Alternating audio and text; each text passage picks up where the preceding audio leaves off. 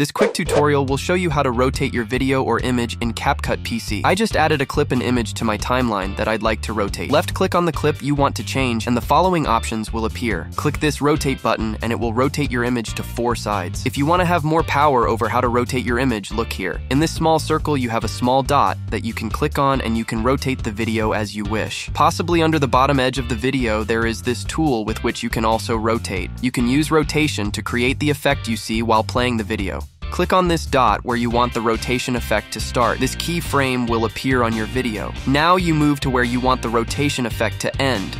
We only need a minimal change, so we can do it by changing the value in this box. Press enter. You can see the video moved, but it did these ugly black things to us. We will solve it by making the video a little bigger. Just here, move your value a little to the right until it fits. We can also rotate and animate images in the same way. Thanks for watching, I hope I helped you. Don't forget to like and subscribe for more tutorials. Have a nice day.